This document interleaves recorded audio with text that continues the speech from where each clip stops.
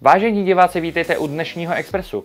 Dnes se podíváme na spoustu zajímavých věcí, jako třeba na rozšíření pražských tramvajových tratiček, ale co já bych vám to vlastně všechno prozrazoval, nechte se překvapit, začínáme hned po úvodní znělce.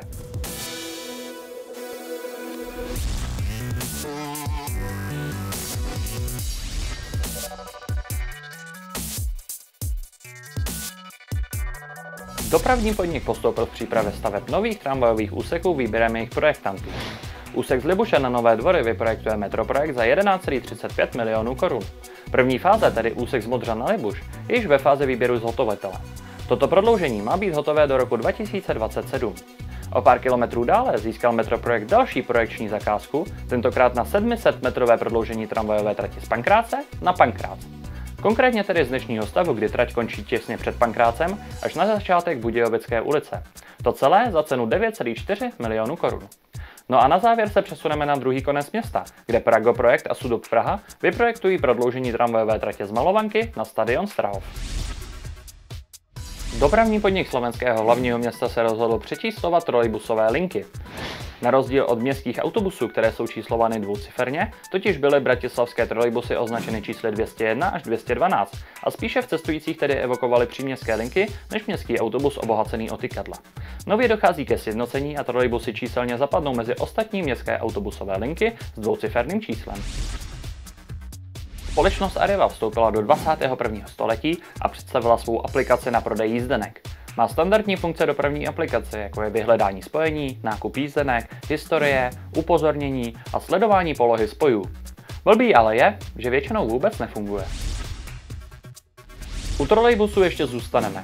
V minulém díle Expressu jsme vám říkali o pohádce o smutném trolejbusu, tedy protestu obcí Mratín, Sluhy, Veleň a Kostelec nad Labem proti elektrifikaci autobusové linky 377.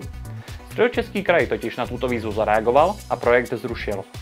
Jestli se názory občanů z vesnic a města na trase změní, nevíme. Co však víme je, že na druhé trase, do Brandýsa, se trolejbusy rozjedou. Provoz osobních vlaků na lince L4 mezi Rumburkem a Mladou Boleslaví převezme od prosincové změny jízdních řádů D-Lander pod značkou Trilex. Motorové vozy 843 nahradí modernější vozy Siemens Desiro, pronajaté z Německa. Příští prosinec převezme totožný dopravce i linku L2 mezi Libercem a Děčínem. V minulém Expressu jsme informovali o rakouském klimatiketu, který platí na všechny druhy dopravy v celém Rakousku. Český Vantiket se bude chtít inspirovat a rozšířit na integrované dopravní systémy krajů a MHD měst.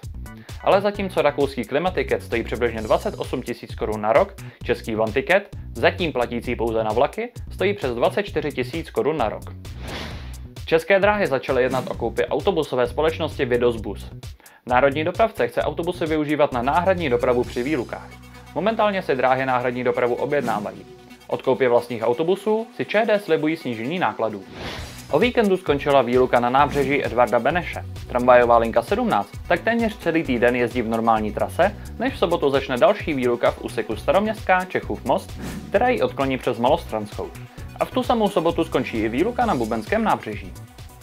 Jak závěr roku nebývá náročný na tramvajové výluky, tak bývá náročný na naše videa. Vy už se tedy můžete těšit na každoroční nášup prosincových videí, ale ještě předtím budou minimálně dva expresy. Yeah.